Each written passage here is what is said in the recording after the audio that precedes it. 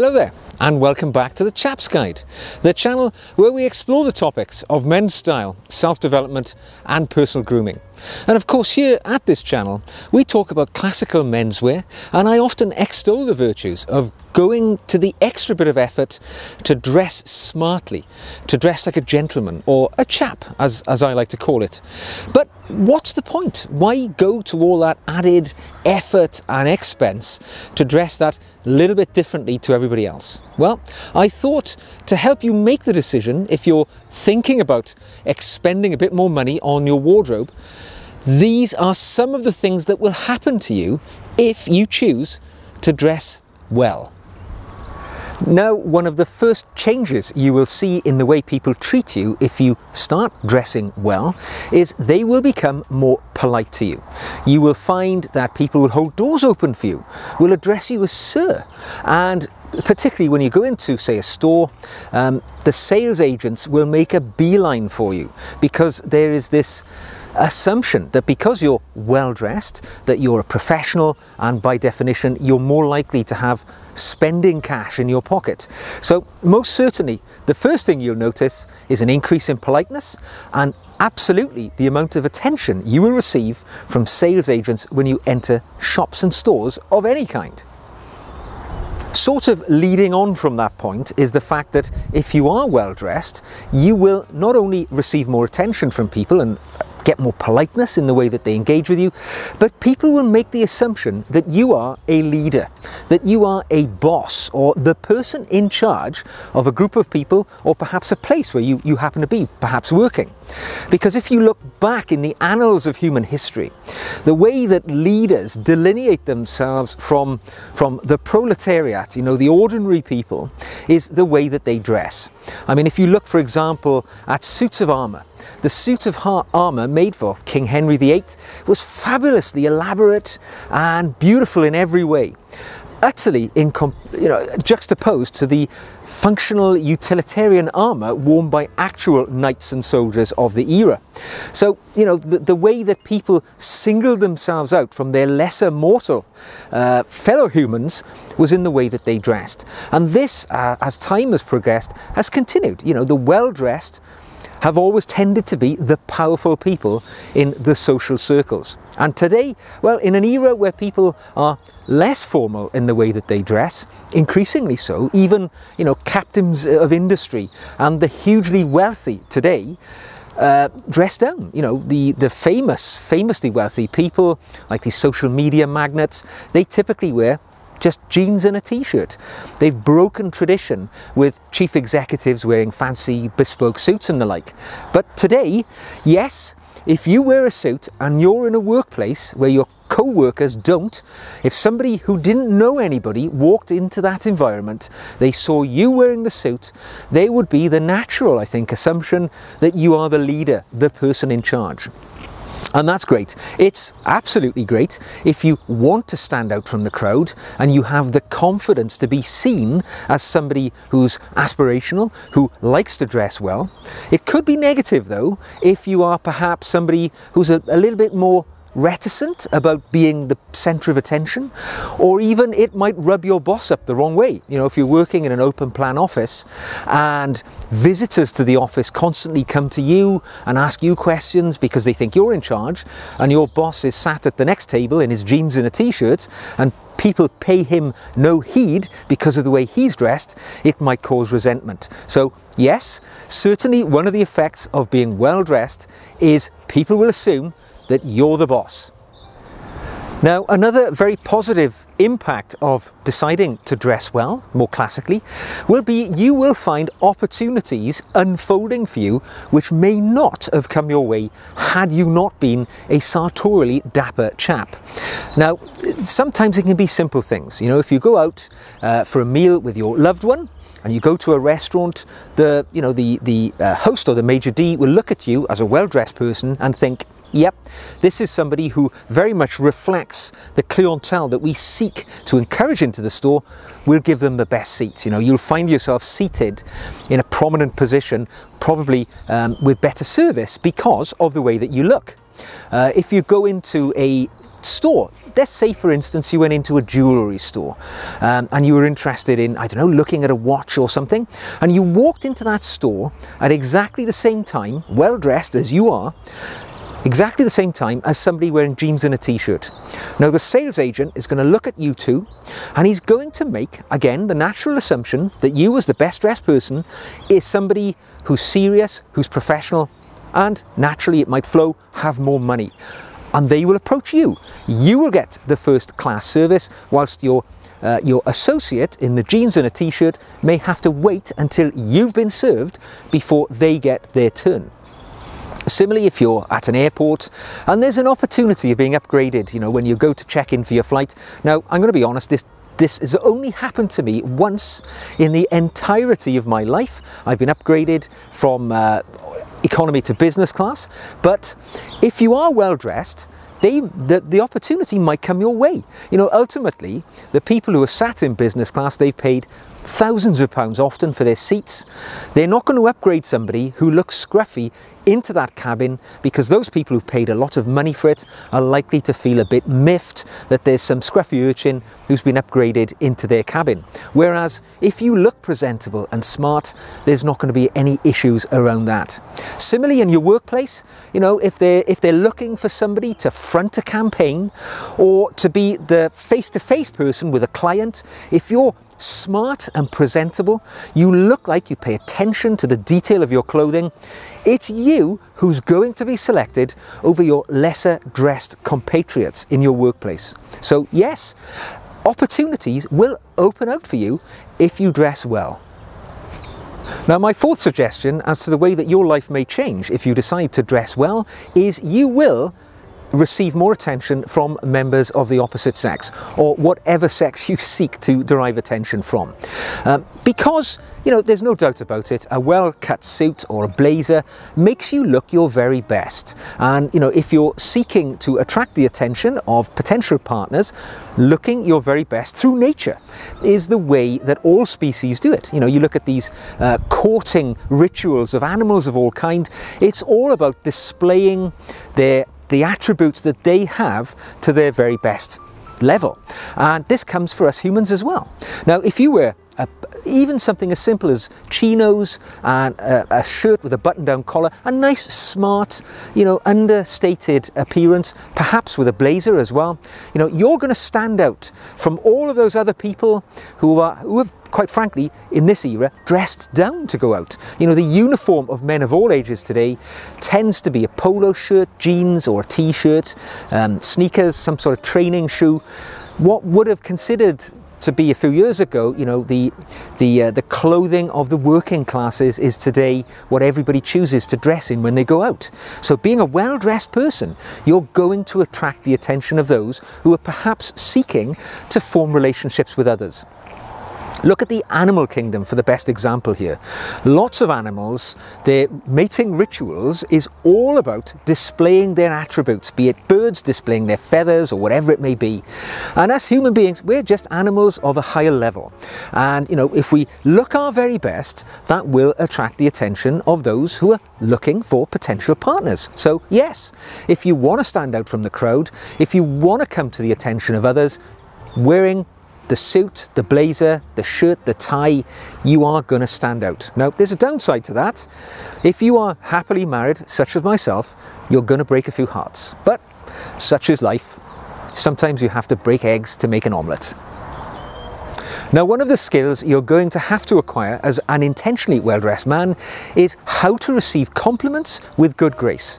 Because one of the things you'll find happening as a smart gentleman is people will compliment you on the fact that you've taken the effort to dress well. Um, I give you a very good example. I was shopping in the city of Bath, not too far from where I live, um, last winter time. I was dressed, I was wearing a suit and an overcoat, and I was actually in a car park paying for my car parking when a group of, I would say, people in their early 20s who'd clearly been out drinking for the afternoon were walking into the car park. To be honest, they looked a little you know, troublesome, biker jackets, things like that. And as a guy who spent a a lifetime in the profession of safety, law enforcement. Um, you know, they kind of got my spider senses, my hackles up on the back of my neck thinking, oh, what's going to happen here? One of the chaps was paying me quite a lot of attention, eyeballing me. He got quite close. And then when he got close enough to speak to me, he said, I hope you don't mind me saying, sir, you are an exceptionally well-dressed man. Now, it came out of the blue. I wasn't expecting it. It sort of knocked me back a bit because I was expecting something totally different to come out of his mouth. Um, but I accepted it in good grace and I said, well, thank you very much.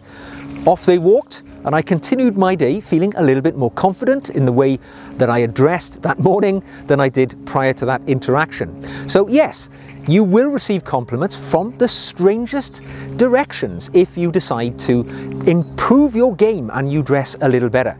Now, the downside to that is an element of confidence is required here because if people come up to you and they say, you know, you look really good, what's it all about, um, you you're going to be the centre of attention to a degree, and increasingly so in this world where people dress down for most situations in life. So if you're somebody who's uncomfortable in receiving compliments and perhaps you know being the focus of others' attention, that's something you may have to overcome. If you're happy with that situation and you want to stand out from the herd, look a bit different to the, the, you know, the, the, the, the sort of the, the rest of people who are walking through life um, not achieving their full potential, well, that's great for you. But it's a skill you will have to acquire. Now, following on from that to a degree is yes, you receive compliments from people, but you will also find yourself becoming the go-to guy, the guru for sartorial elegance for your network of associates. Because everybody goes through life in this era, you know, underdressed, but there are occasions that require, that mandate people to put their best clothes on. And your friends who are perhaps underdressers will come to you as that point of contact for you know advice on what to wear to a friend's wedding. Does this suit go with you know this tie? Can i mix these trousers with this jacket? What shoes should i wear? Or you know can i wear a pocket square with this? What color should i wear the downside to that is you might find people asking you to borrow things, because if you're known as somebody who has a number of ties or pocket squares, or perhaps you might be the only one in your network of friends who's got more than one pair of dress shoes, you know, people will come to you and ask you to borrow them. But it's a good thing because this gives you the opportunity to become the style ambassador for your network of friends and draw forward their standard to being better dressers, to being dapper chaps. You can lead the charge to being better dressed, but be prepared because they'll be coming to you for that advice. Now, so far, I've talked mostly about the positives which will fall from your newfound life as being a dapper chap. But, of course, like everything, where there are pros, there are often cons. And in this situation, being better dressed will seem like an expensive business. You will have less money in your wallet if you decide to dress well. But that is not necessarily true. And I want to unpack that for you a little bit because, you know, yes, it's true. When you start out, you want to buy a suit. A suit will cost, well, anything from 250 to a thousand pounds. It depends on how much you want to spend. Yes, you can get it cheaper. You can go to the thrift store. You can look on eBay. You can scour the wardrobes of your family members who are a similar size. And yes, you can acquire clothing cheaper, but generally it's going to cost you money. But long run, buying good tends to mean that these things will last longer. If you dress in a classic style, they're not going to go out of fashion. All right, fashion, don't forget, is fleeting. Style is something which is permanent. And when you've invested in a couple of good suits, a couple of good pairs of shoes, they're going to last for the years and years, and if you invest in quality, they could potentially last decades. Shoes in particular are a really good example. Now, a good pair of, you know, gentlemen's Goodyear welted leather shoes, even by a modest brand like Loake or Allen Edmonds if you're in North America, will set you back a few hundred dollars or pounds. But because they're Goodyear welted, it means that they can be resoled over and over again. Made of good quality leather, they can be, you know, looked after over the years that go by. They can be repaired. And a good pair of shoes, I would expect, even a pair of shoes costing 250 pounds from say Loake, one of my favorite manufacturers, is likely to last 10 20 years with regular good maintenance.